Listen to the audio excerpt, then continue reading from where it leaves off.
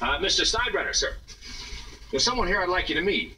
This is Mr. Costanza. He's one of the applicants. Nice to meet you. Well, I wish I could say the same, but I must say, with all due respect, I find it very hard to see the logic behind some of the moves you have made with this fine organization. In the past 20 years, you have caused myself and the city of New York a good deal of distress, as we have watched you take our beloved Yankees and reduce them to a laughing stock, all for the glorification of your massive ego.